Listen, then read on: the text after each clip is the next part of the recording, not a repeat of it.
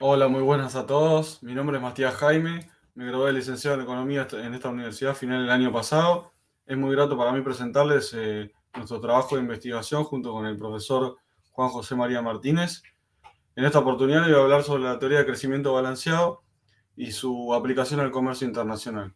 Esta teoría, que originalmente fue planteada en términos microeconómicos por el economista Ragnar Nurtz, sostiene la necesidad de impulsar el crecimiento de todos los sectores de la economía de manera conjunta y a igual tasa, para lograr así un crecimiento sostenido a largo plazo.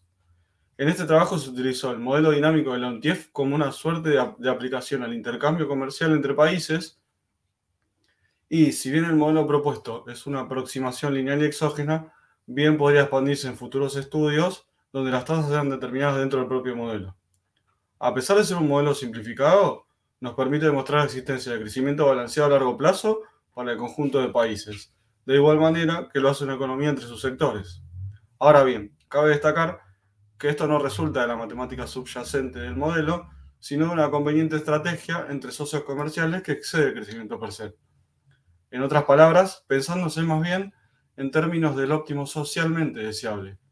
Es importante destacar que el comercio internacional no es el único factor que impacta sobre el crecimiento pero puede ser una alternativa favorable y menos costosa que una instancia de aislamiento en el camino hacia la industrialización.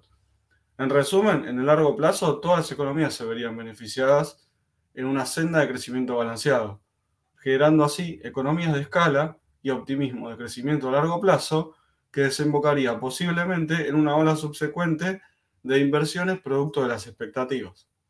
Bueno, eso sería todo y muchas gracias por su tiempo.